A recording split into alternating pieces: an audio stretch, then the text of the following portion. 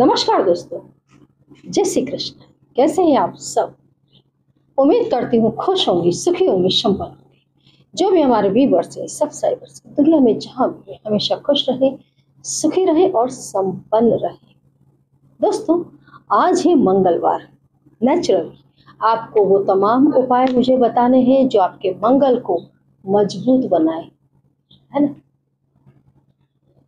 देखिए सिंपली एक चीज़ मैं आपको बता दूँ, मंगल अगर आपके कमज़ोर है तो आपका नेचर कैसा होगा? कुछ डरपोक किस्म का होगा। आपके स्वभाव के अंदर कायरता होगी।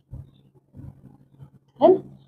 आपकी मैरिज लाइफ डिस्टर्ब होगी। आप देखो, जिसके भी कुंडली के अंदर, पहले में, चौथे खाने में, आठवें घर में, बारहवें घर में मंगल बैठे हैं। मतलब कि उसकी मैरिज लाइफ बहुत ही डिस्टर्ब होती है। पहले तो मैरिज होती नहीं है। शुरुआत में आपको बता दूँ, पहले तो मैरिज नहीं होगी। लगभग तीस साल, इकतीस साल तक शादी नहीं होनी है। और अगर कर दी पहले, लड़की है तो या तो विधवा बनेगी, या त्यक्ता बनेगी, है ना? दोनों में से किसी एक की डेथ हो जाएगी। जिसके मंगल नहीं होंगे, वो उस मंगल को सहन नहीं कर पाएगा। और उसकी डेथ हो जाती है। तो it is necessary for everybody to make your Mangal powerful it is necessary for everybody कि आप अपने मंगल को पावरफुल बनाए। आप देखना, अगर कहीं लड़ाई झगड़ा हो रहा है, आपके मंगल कमज़ोर है, आप खुद को प्रेजेंट ही नहीं कर पाएँगे। आपके अंदर वो ताकत नहीं आएगी। कई जगह आपने देखा होगा जो स्टूडेंट से स्कूल में खुद को प्रेजेंट नहीं कर पाते। अंदर से उनके अंदर एक डर होता है भयंकर डर। नहीं नहीं मैं मैं ऐसा करूँगा तो आ, ऐसा हो जाएगा। अगर मैंने इसको एक झापड़ मारा ये मुझे दो मार देगा।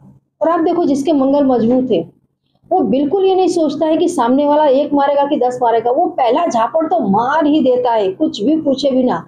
सामने वाले ने कोई फॉल्ट किया और अगर वो आपके सामने आ गया तो एक झपड़ो पहले मार देगा, बिना सोचे कि इसके आगे क्या होगा। आप आर्मी में देखो, पुलिस में देखो, मंगल प्रधान व्यक्ति और वो जिनके मंगल मज़बूत है ऊँची ऊँची पोस्ट पर बैठे हुए हैं और बड़े बड़े निर्णय ले रहे हैं। मंगल आपके कमज़ोर है, लोग आपको, आपके ऊपर कोर्ट केस कर देंगे। बाहर के नहीं मिले तो घर की बहू बेटी कर देगी। मतलब मंगल आपको चारों तरफ़ से परेशान करते हैं।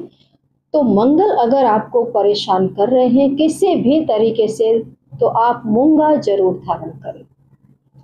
मूँगा आपके मंगल को मज़बूत बनाता है।